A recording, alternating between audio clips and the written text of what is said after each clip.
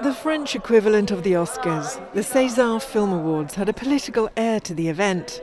Actor Corinne Masiero had written on a mask, No culture, no future, and dressed as a donkey covered in fake blood. She was presenting the Best Costume Award at the 46th ceremony. In a tweet from a French newspaper, it explained she also stripped naked to show her back, which said, Give us back the art, Jean, making a reference to the French Prime Minister Jean Castex. During the ceremony, the big winner was the dark comedy Adieu les cons, which won several César Awards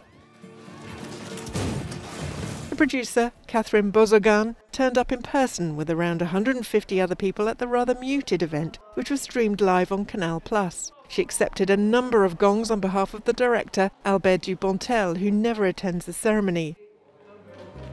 The film, also called Bye Bye Morons, is about a very sick woman trying to find her long lost son, together with a blind man and a suicidal guy.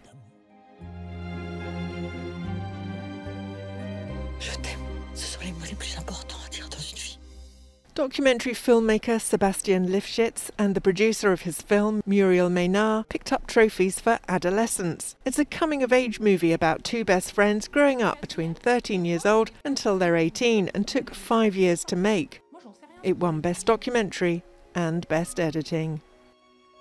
Je crois qu'à partir de maintenant, je vais commencer une liste de ce que je veux réaliser.